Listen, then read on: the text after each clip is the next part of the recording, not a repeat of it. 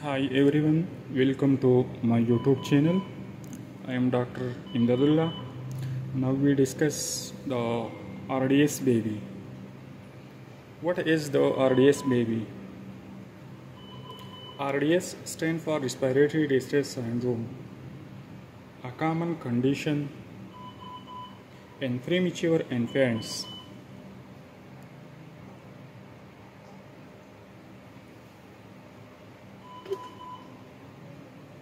What is the cause of the RDS? The causes of RDS is surfactant deficiency. Premature lungs often lack sufficient surfactant, a substance that help keep your sac open.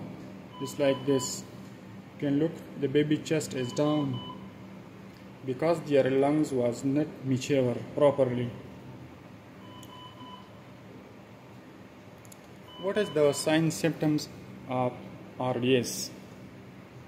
The sign symptoms RDS we discuss the difficulty breathing, rapid breathing. You can watch the video. The baby is breathing is rapidly. Breathing, grunting, or retracting. Number two, blue skin color cyanosis due to inadequate oxygenation. The baby color is uh, cyanosis because due to the deficiency of O2 inhalation or oxygen. You can watch the baby color is cyanosis.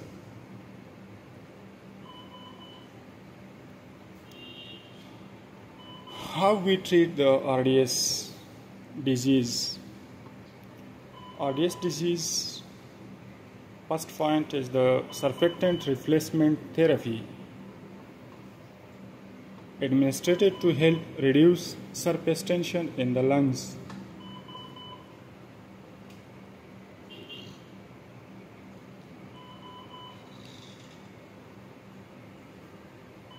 Number 2 Oxygen therapy.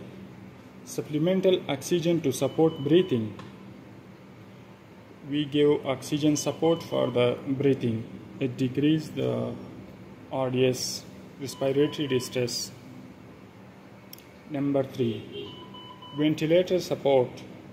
Mechanical ventilation may be necessary in severe case. Now we discuss the importance of medical care.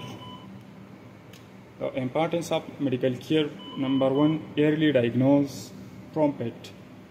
Treatment can improve outcomes. Number two, specialized care. Neonatal intensive care unit NICU provide the necessary support. If you have concern about RDS or future infants, consult a healthcare professional or guidance. Why we insert the NG tube to baby? Because the NG tube or feeding tube decrease the stress of baby. Number two it decrease the abdominal distension or gas in stomach and also NG tube we give feeding in NG tube or we give medication from the NG you can watch this baby is severe RDS RDS grade 3